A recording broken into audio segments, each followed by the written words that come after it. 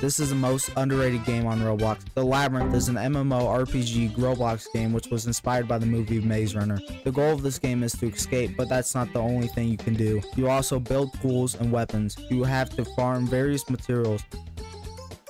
You will start out with a starter weapon and tools which are very bad and take forever to farm materials. It will get the job done though. And with these materials, you'll go to the blacksmith bin and craft your tools or weapons.